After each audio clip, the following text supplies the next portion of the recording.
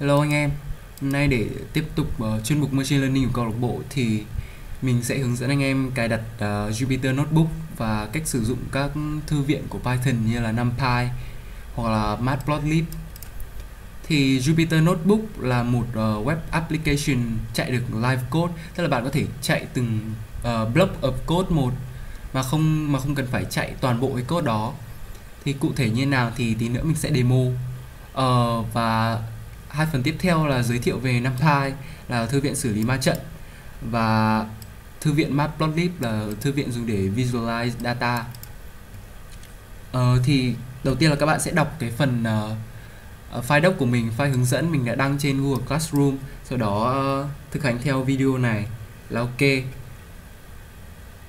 Uh, để khởi động Jupyter Notebook thì uh, thực ra Jupyter Notebook thì khi mà bạn cài Anaconda thì nó đã auto có rồi. Thế nên là bạn nào chưa cài Anaconda của bài hướng dẫn lần trước của mình ấy thì các bạn phải nhớ cài cái bài đấy. Thôi mình sẽ không học được bài này. Ờ ok. À, mình có đăng đăng lên một file zip file uh, file zip đó là một cái phần uh, tutorial mẫu của mình.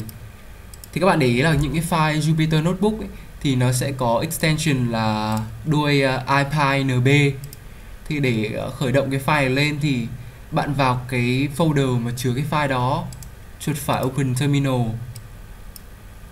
Đầu tiên là bạn sẽ khởi động môi trường ảo, lần trước mình cài lên, suộc activate autocar ok. Đấy, môi trường của mình đã lên.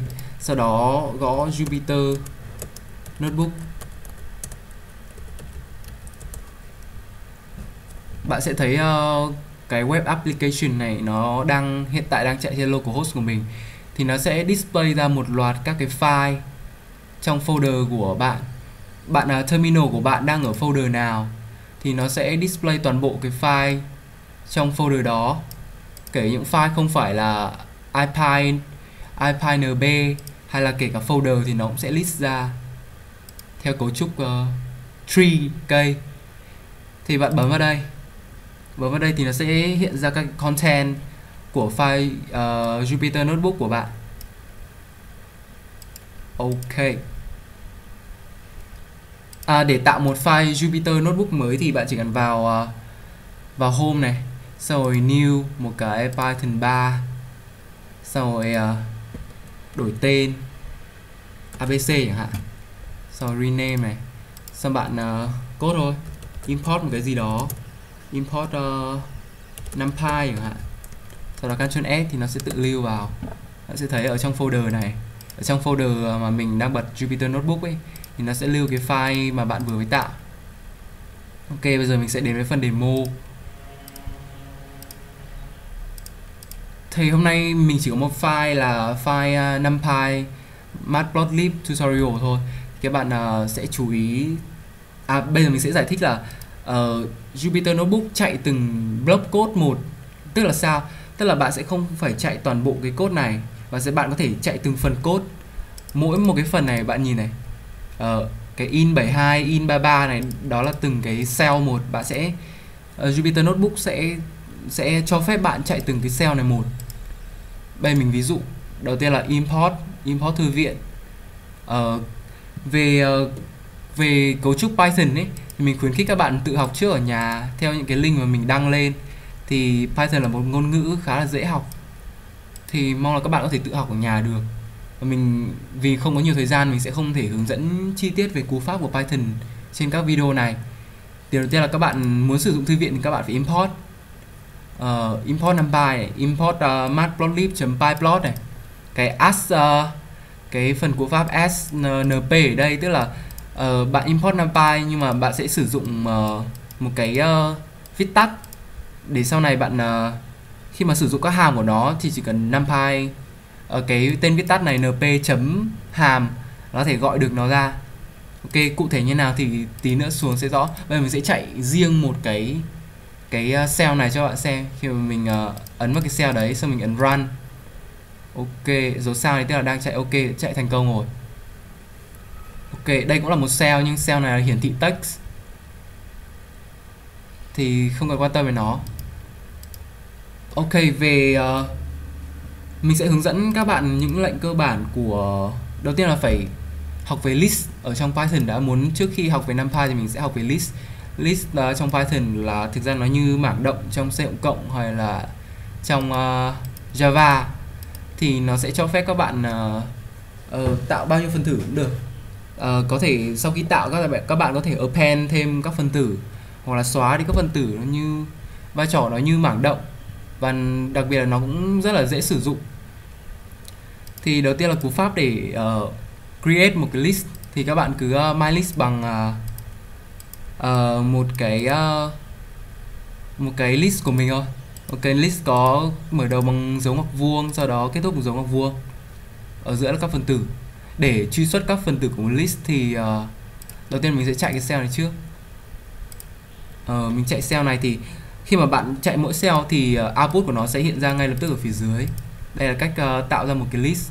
Để truy xuất phần tử của một list thì các bạn có thể uh, uh, truy xuất bằng uh, giống như trong uh, cộng là dùng dấu ngoặc vuông và ở trong là position của nó. Ví dụ mình sẽ print ra phần tử thứ không chẳng hạn. Print my list vị trí thứ không ok. Thì các bạn sẽ ờ, thấy cell của mình. Phần tử thứ không là đang là một. Ok. Đấy là cách truy xuất. Uh, sau đây mình sẽ hướng dẫn một số lệnh cơ bản của của list trong Python.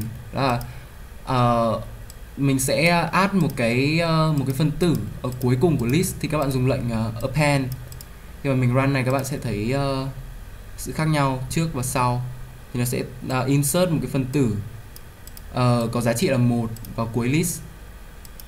Lệnh thứ hai là insert một giá trị nào đó ở vị trí bất kỳ.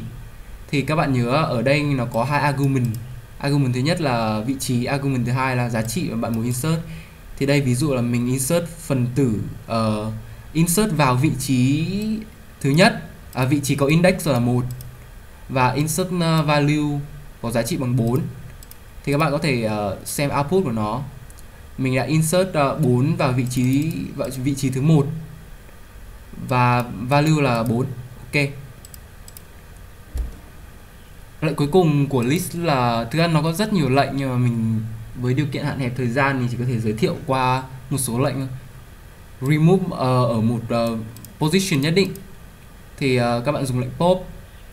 Đây mình uh, remove uh, phần tử không này bốc không? Ok các bạn có thể, thể thấy là before nhá before khi mình run cái cell này thì before sẽ là có phân tử thứ nhất ở đầu nhưng mà mình đã remove cái phân tử đấy. Thì nó chỉ còn uh, từ 4 trở đi thôi. Ok. Nếu bây giờ mình muốn uh, remove ở vị trí thứ ờ, uh, 3 chẳng hạn thì mình sẽ xem kết quả. Ok mình đã remove ở vị trí thứ ba tức là 1 2 à 0 1 2 3 thì nó remove phần tử 5 đi ok.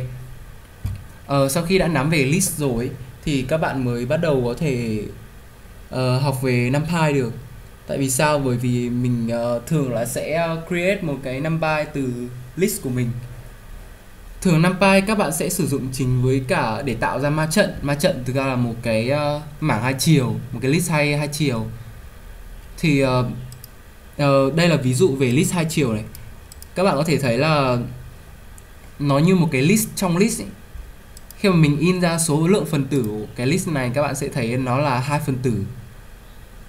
Đây hai phần tử là phần tử thứ nhất là một cái list con phần tử thứ hai là một cái list con còn lại. Thì các bạn là khi mà các bạn chạy code ấy thì các bạn sẽ thấy là đây uh, length của cái list của các bạn sẽ là hai chỉ có hai phần tử. À, và điểm khác biệt của khi mà các bạn convert sang uh, numpy array thì uh, nó sẽ không có không thuộc tính là len nữa mà nó sẽ thay vào đó là thuộc tính shape. Thì các bạn sẽ như OpenCV học là nó có uh, width và height thì ở đây cũng thế. Shape thì nó sẽ uh, nó sẽ uh, in ra nó sẽ trả về hai giá trị. Giá trị thứ nhất là number of rows là theo theo chiều dọc thứ hai là number of columns là theo chiều ngang Ok, ờ, uh, một phần code mình đã comment khá là rõ ràng có thắc mắc gì thì các bạn cứ đăng lên group để trao đổi. Thì sau đây là một số uh, operation cơ bản của NumPy. Uh, mình sẽ uh, create các cái um, ma trận từ các cái list. Sau đó mình sẽ thực hiện một số operation như là cộng trừ, nhân chia hay là một số phép toán element wise. Khi các bạn chạy cell này thì sẽ thấy uh, mình ghi ra shape của nó. Hai number ờ, rows là hai number columns là ba. Ok. Khá là dễ hiểu khi mà bạn uh, muốn thực hiện một số phép toán với cả numpy array các bạn sử dụng các uh, operation bình thường ví dụ như là phép cộng. Thì để cộng hai uh, ma trận thì chúng chúng phải có cùng uh, cùng cái shape tức là cùng number rows và cùng number columns. Thì ở đây mình có chỉ có thể cộng ma trận A với ma trận B thôi. Thì đây là kết quả. Trừ cũng vậy trừ cũng yêu cầu là shape của chúng phải giống hệt như nhau. Và khi nhân ma trận thì mình sẽ yêu cầu là đuôi của ma trận này thì sẽ bằng đầu ma trận kia tức là ma trận mình sẽ nhân ma trận BC với nhau và sau đó nhân ma trận CB với nhau thì ma trận BC thì có shape là ma trận B thì có shape là 23 nhân với ma trận C thì có shape là 32 thì mình sẽ được ma trận BC có shape là 22 các bạn có thể nhìn thấy đây ma trận BC có shape là 22 và ngược lại mình nhân ma trận C với ma trận B thì sẽ là 32 nhân với 23 thì sẽ là 33 các bạn có thể thấy ma trận. Các bạn chạy từng cell thì sẽ ra output rất là rõ ràng. Ok bây giờ là nhân nhân một ma trận với cả một số một số thực. Thì nó sẽ nhân từng phần tử của ma trận đó với số thực đó thôi. Đây mình nhân ma trận B với cả 10 ờ, một số à, trong ma trận thì có một điểm à, có một phép toán khá đặc biệt đó là bitwise nó sẽ um, nó sẽ nhân từng phần tử tương ứng của ma trận uh, này với cả phần tử tương ứng về vị trí với ma trận kia. Thì ở đây mình uh, vì chính vì thế nên uh, yêu cầu hai ma trận phải có cùng shape. Ở đây mình chỉ có thể nhân ma trận A với ma trận B tại vì ma trận A và ma trận B có cùng shape là 23 thì sau khi nhân uh, sau khi nhân element wise các bạn có thể thấy là uh, nhân nhân tương ứng ấy, gọi là nhân tương ứng. Đây vị ví dụ vị trí ờ, uh, 00 của ma trận A nhân vị trí 00 của ma trận B vị trí ờ, uh, 01 của ma trận A nhân vị trí 01 của ma trận B. Các bạn có thể thấy ở đây có kết quả là 11 này 44 này. Đấy đấy gọi là nhân element wise. Và đặc biệt numpy còn còn áp dụng các một số cái function lên uh, lên toàn bộ cái matrix của các bạn. Ví dụ các bạn muốn ờ, tính toán một cái uh, ma trận ví dụ ma trận mà ma trận output là bình phương của tất cả các phần tử ở ma trận input thì các bạn có thể dùng hà các hàm có sẵn của numpy numpy.power truyền vào một cái input và và số mũ. Thì mình sẽ được một cái ma trận mới là từng phần tử tương ứng với cả ma trận A sẽ bình phương lên. Cái này không phải là ma trận A bình phương tức là không phải ma trận A nhân ma trận A mà là từng phân tử của ma trận A bình phương lên. Đấy là hàm numpy.power tương tự với cả sqrt thì cũng hàm này cũng là hàm từng có tác dụng lên từng phần tử. Ờ, tại sao mình phải uh, lưu ý điều này? Tại vì khi mà sau này khi mà xử lý toán hay là hay là xử lý machine learning thì mình sẽ dùng rất nhiều những hàm có sẵn của numpy ấy, thì nó sẽ tác động lên từng phần tử của của cái matrix đó. Đấy là về numpy còn cuối cùng là về matplotlib. Thì thật ra là về matplot thì mình sử dụng thường sử dụng có hai hàm thôi. Đó là hàm uh, plot và hàm scatter. Thì các bạn khi nhìn thấy uh, hai hàm này các bạn sẽ khi nhìn thấy output hai hàm này các bạn sẽ thấy ngay là sự khác biệt của chúng là như thế nào. Hàm plot thì uh, nó sẽ nối các điểm với nhau các điểm với nhau. Còn hàm scatter thì sẽ để các điểm rời rạc. À, tùy vào mục đích sử dụng thì mình sẽ sử dụng khác nhau. Và uh, input của input của của cái hàm plot và hàm scatter này là gì? Thì input của nó chính là một cái list thể hiện tọa độ x và một cái list thể hiện tọa độ y và hai list này phải có số phân tử vào nhau.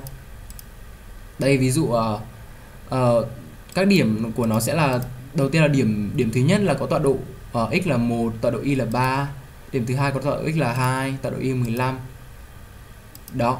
Thì uh, các bạn có thể sử dụng uh, đầu vào cho hàm plot với hàm scatter là là hai list hoặc là hai numpy array. Đều ok đều được không bị lỗi. Đấy thường là uh, thường là mình chỉ sử dụng hai hàm này để uh, visual những cái uh, nhỏ nhỏ khi mà làm project thôi. Ra chức năng của nó thì còn rất nhiều. Cái này thì các bạn được chủ động học các cái course online trên mạng. Thì ok. Uh, phần chia sẻ của mình hôm nay đến đây là hết. Thì uh, mong là các bạn sẽ uh, vì mình cũng khá đầu tư thời gian cho phần này thì mong các bạn sẽ hưởng ứng nhiệt tình ok chúc các bạn học tốt.